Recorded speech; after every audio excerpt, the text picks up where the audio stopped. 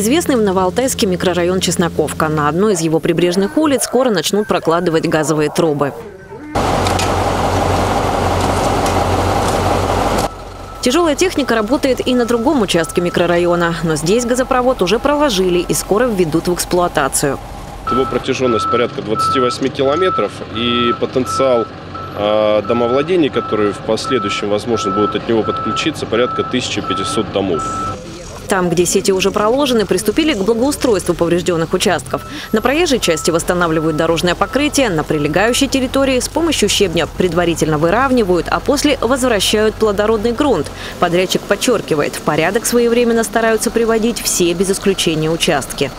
Конечно, это обязательное условие работы. Ни в коем случае не должны мы ущерб нанести местному населению, поэтому как бы это прерогатива чтобы уйти достойно. Темпы и качество проводимых работ заказчик оценил на месте. Мы эти работы проводим сейчас по всему краю, потому что очень много работали в зимний период, наша подрядная организация. Вот, и ну, благоустройство восстанавливаем повсеместно.